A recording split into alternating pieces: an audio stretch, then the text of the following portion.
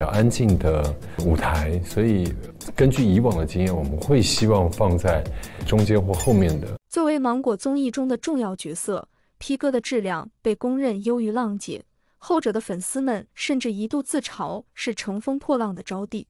尽管开播前外界质疑声不断，但来到第三季的 P 哥依然交出了一张高分答卷，无论是舞台还是真人秀的群像塑造。芒果在成名艺人竞演综艺领域依然遥遥领先。四次公演过后，郑嘉颖、徐良、品冠、胡兵等八位哥哥遗憾止步舞台。林志颖、王耀庆、胡彦斌、陈楚生四位队长率领四大阵营冲击进入成团夜的入场券。按照原定排播计划披哥三武功本该在十月二十七日和二十八日双更上下半场。但由于某些原因，最终只播了上半场的四个舞台，下半场的他不爱我、走麦田、裂缝中的阳光和青春延期播出。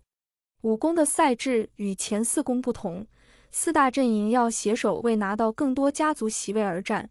上半场的过线标准是八百七十，下半场的过线标准是八百九十分，且四大阵营八个舞台的总分如果超过六千六百二十四分，则全员安全。为了先保住第一轮过线，尽管四大阵营都不约而同选择了更有把握的舞台，但整体质量并不理想，槽点还是蛮多的。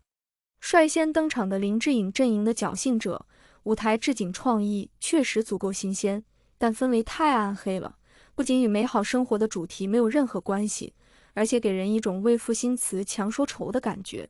胡彦斌阵营的漂洋过海来看你中。胡彦斌的唱腔被质疑炫技严重，反倒是陆毅的音色在这类旋律性强的慢情歌中尽显真挚。至于沦为博远和关之斌，不仅沦为了伴舞，而且昏暗的灯光对他俩一点也不友好。陈楚生阵营的动物世界延续了一公舞台无数的剧情，这种续集型唱演舞台，前两季 P 歌都没有做到，陈楚生阵营开创了先例。王栎鑫的一滴泪值得大赞。饰演心理医生的蔡国庆依然稳定发挥，陈楚生和罗杰夫虽然是配角，但在这个舞台中同样是发光的。四人靠默契配合，留下了一个优质唱演舞台。王耀庆阵营的易燃易爆炸，马小龙负责的编舞依然足够震撼，但还是那个老问题，需要大量伴舞烘托氛围感，以至于马小龙、魏哲鸣和何展成都埋没在了群舞中。何展成的 solo 虽然经验太着实太短了，当然了，绝对主角张远成功挑起了重担，不仅 vocal 部分最佳，而且演的部分也格外出彩。他因为从二公开始就脱离零七幺三组而遭遇过大量质疑，但邻人 Joker 第一次做人和易燃易爆炸都是高质量作品，他在舞台部分应该是没有遗憾的。武功下半场虽然还没播，但武功的全部结果已经提前曝光。下周正片的播放量和话题度可能会受损，延播一周对皮革三来说影响还是蛮大的。上半场的四个舞台中，八百九十八分的动物世界位列第一，同时也是武功全场最高分。漂洋过海来看你拿到八百九十三分，排名第二。侥幸者八百八十二分，排名第三。易燃易爆炸八百七十一分，刚刚过线。排名第四。下半场未播的四个舞台中，青春以八百八十六分拿到第一，走麦田以八百七十八分拿到第二，八百七十二分的他不爱我排名第三，八百六十七分的裂缝中的阳光排名第四。两轮比拼过后，胡彦斌团队终于不是千年老二，以九分的微弱优势险胜陈楚生部落拿到第一名，并且提前拿到了两个成团席位。王耀庆阵营和林志颖阵营则并列第三。除了舞台排名外，武功的个人喜爱度排名也已经曝光。尽管比赛进行到这个阶段，成团趋势大局已定，大部分哥哥的名次都不会有太大变动，但依然有几位值得一提。首先，资历和国民度都不算一流的王栎鑫拿到了武功的人气第一名。单看这个结果的话，绝对是很多观众的意料之外。甚至是震惊的程度，但是单单是他在动物世界中的唱演表现，就完全配得上这个人气第一名。就连胡彦斌都表示，之前一直把他当歌手看，原来他的演技也这么好。王栎鑫的这趟披荆斩棘之旅，绝对是不虚此行。虽然从二公开始就紧跟大哥陈楚生的步伐，但他唱过、跳过、演过、说唱过，高颜值、强能力、真性情都得到了更多路人观众的认可。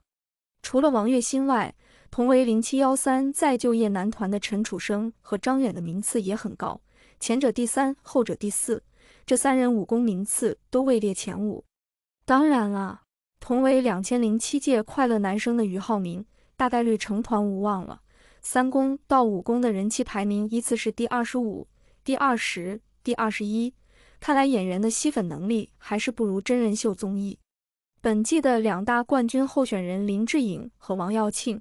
武功名次分别是第六和第七，双双首次跌出了前五名。不知道这是不是他俩无缘 C 位的一个信号？如果是的话，那么胡彦斌夺冠的希望可能会大大增强。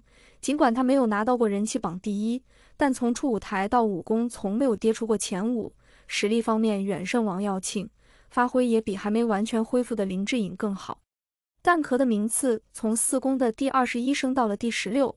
再加之他在四公真人秀环节接地气的遗憾表达很圈粉，他成团夜逆袭的可能很大。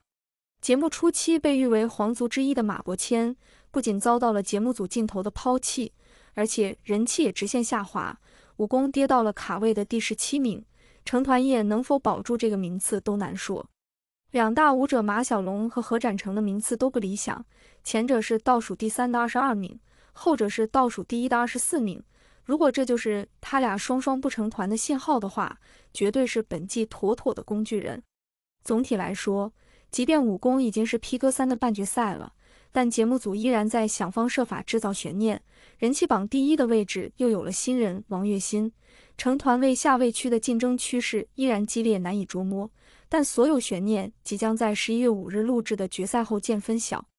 P 哥三从播出之日起就引起了广泛关注。虽然前期饱受争议，但是经过一段时间的发展，终于证实了这档选秀类综艺的强大与影响。到现在为止，五场演出下来，十三个哥哥都确定了自己的组合，其中有兄弟组合、零七幺三组合、最受欢迎组合和 rapper 组合。每个兄弟都有自己的背景、个性、魅力。林志颖是一个引人注目的娱乐界名人。林志颖。一个不需要多说的人，因为其表演的各种类型的节目深受大家的喜欢。他是一名资深的歌星艺人，有着相当的演艺经历。林志颖乐观的个性与诙谐的个性总是吸引着他。他不但是乐坛上的佼佼者，同时也是综合舞台上的听众。他在 P 哥三里的表演和以往一样优秀，受到大家的关注。王耀庆，一个天生的音乐天才。王耀庆，一个被广泛关注的乐坛天才，其在乐坛上的天赋也得到了广泛的认可。擅长作曲、编曲及创作，其创作风格广受青少年欢迎，已成为华语歌坛一道亮丽的风景线。在披哥三里，他用他的才华和才华征服了所有的听众。胡彦斌的冠军回来了。胡彦斌是演艺圈里公认的小天王。他以帅气的外表、充满激情的歌曲征服了无数的女粉丝。他的乐曲永远都是那么的浪漫，那么的动人。在演出期间，他以其非凡的音乐天赋和非凡的个人魅力，成为全场瞩目的中心。蔡国庆是一名杰出的作曲家。蔡国庆是一名伟大的作曲家，他的作品被广泛的传播，并且成为了一部经典作品。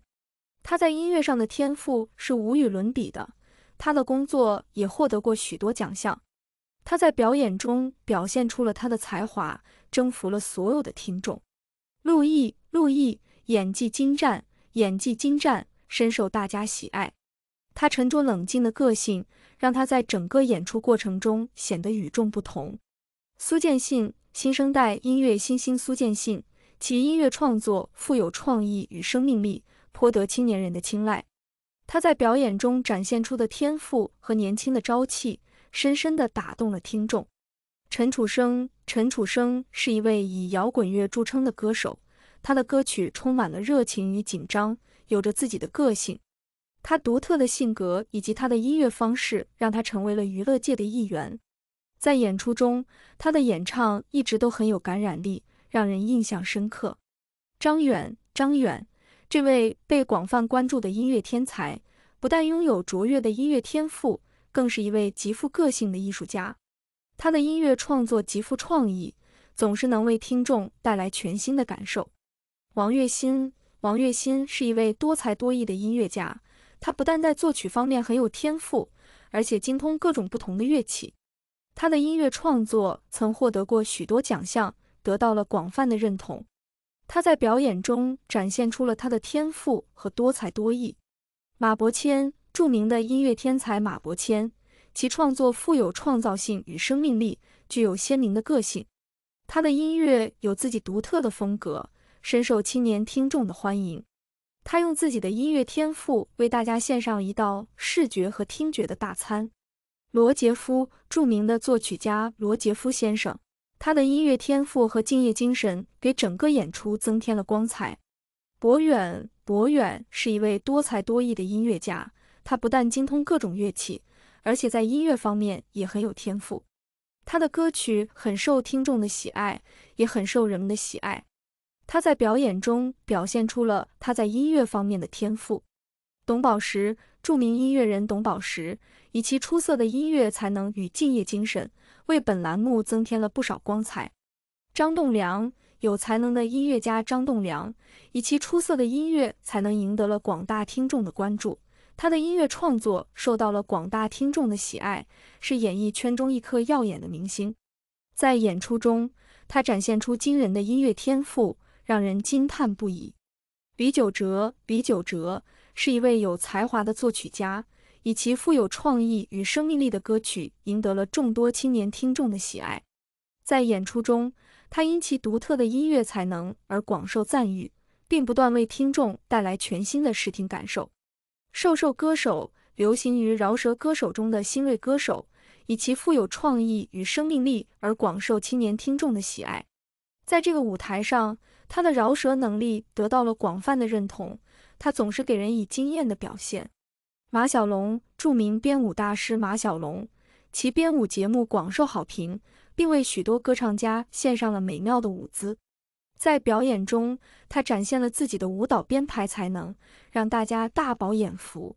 在 P 歌三里，很多歌手都在针锋相对，每个哥哥都各有各的个性和个性。在如此残酷的比赛中，他们出色的音乐才能和独特的性格，使整个表演变得非常有吸引力。张栋梁与李玖哲是最有希望的组合，在这两个 rapper 里，瘦一点的可能性更大一些。在舞蹈演员中，马小龙是最有希望晋级的，因为他的舞蹈编排技巧和受欢迎程度很高。总体而言，此次演出既是一次歌曲竞赛，又是一段演艺生涯。每个兄弟都大胆地在台上展示了他们的音乐才能，不管最后能不能组成团体，他们都是冠军。披哥三的大获成功，充分说明了这档真人秀节目的特殊吸引力，同时也是一次听觉上的饕餮大餐。